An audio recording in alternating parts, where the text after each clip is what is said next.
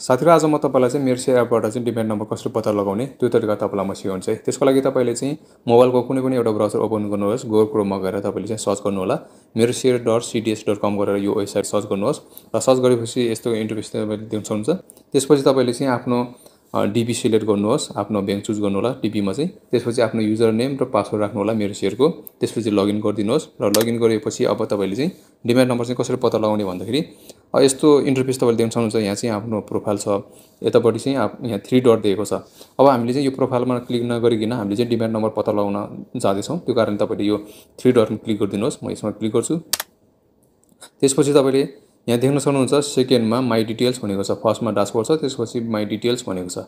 अब हामीले चाहिँ डिमेट नम्बर पत्ता लगाउनको लागि चाहिँ माई डिटेल्समा चाहिँ क्लिक गर्नुपर्ने हुन्छ। साथी म यसमा क्लिक गर्छु। त्यसपछि तपाईँले यस्तो इन्टरफेस देख्न सक्नुहुन्छ। र यहाँ चाहिँ हाम्रो पुरै डिटेल दिएको छ र अब यहाँ चाहिँ हाम्रो डिमेट नम्बर भनेको चाहिँ कहाँ छ भनेर तपाईँले खोज्नुहुन्छ भने तपाईँलाई डिमेट नम्बर भनेर चाहिँ दिएको हुँदैन। तर यहाँ चाहिँ बिओआइडी भनेर दिएको छ है साथीहरू। बिओआइडी भनेको चाहिँ हाम्रो डिमेट नम्बर हो। यहाँ चाहिँ सोह्रवटा नम्बर दिएको छ। यो सोह्रवटा नम्बर चाहिँ हाम्रो डिमेट नम्बर हो साथीहरू। तपाईँले चाहिँ आफ्नो माई डिटेल्समा तपाईँले गएपछि चाहिँ बिओआइटी हेर्नु होला बिओआइटीमा तपाईँको नम्बर दिएको हुन्छ सोह्रवटा नम्बर। यो सोह्रवटा नम्बर चाहिँ तपाईँको डिमेट नम्बर हो। यसरी चाहिँ तपाईँले आफ्नो यो मेरो सेयर वेबसाइटबाट चाहिँ तपाईँले सजिलैसँग चाहिँ तपाईँले आफ्नो डिमेट नम्बर चाहिँ पत्ता लगाउन सक्नुहुन्छ है साथीहरू।